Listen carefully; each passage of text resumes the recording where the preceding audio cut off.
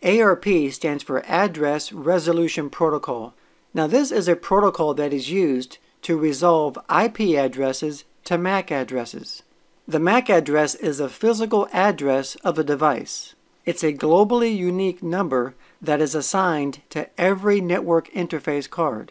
Whenever a device needs to communicate with another device on a local area network, it needs the MAC address for that device. And devices use ARP to acquire the MAC address for that device. So as an example, let's say that computer A wants to communicate with computer B. Now computer A already knows the IP address for computer B, but in order to communicate with computer B, it still needs its MAC address. Now an IP address is used to locate a device on a network, and the MAC address is what identifies the actual device. So in order to find the MAC address, computer A will first look at its internal list called an ARP cache to see if computer B's IP address already has a matching MAC address. In fact, we can check this ourselves at a Windows command prompt by using the ARP utility and by typing ARP space minus A.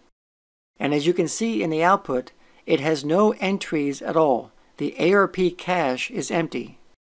So now computer A will send out a broadcast message out on the network asking every device which computer has the specific IP address and will ask for their MAC address. Then the computer that has the matching IP address will then respond back and tell computer A its MAC address.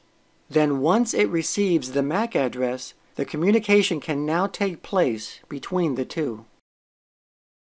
Now once computer A has the MAC address, it'll store this information in the ARP cache.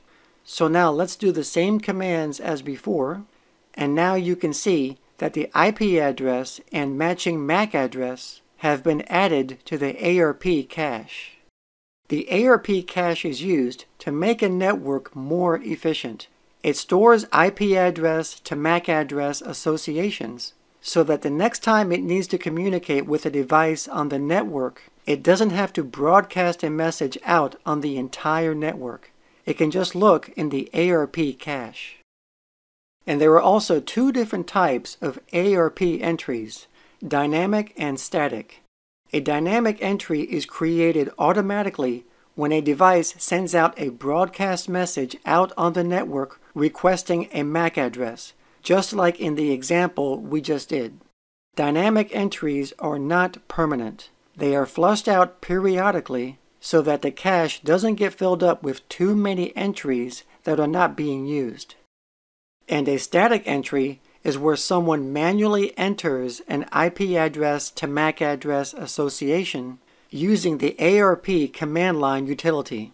So for example, let's create a static ARP entry.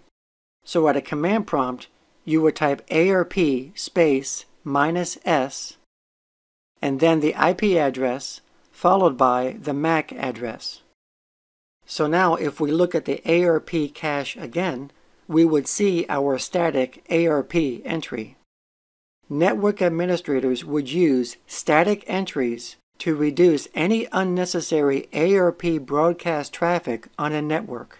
For example, static entries are ideal if you know that two devices are constantly going to be communicating with each other.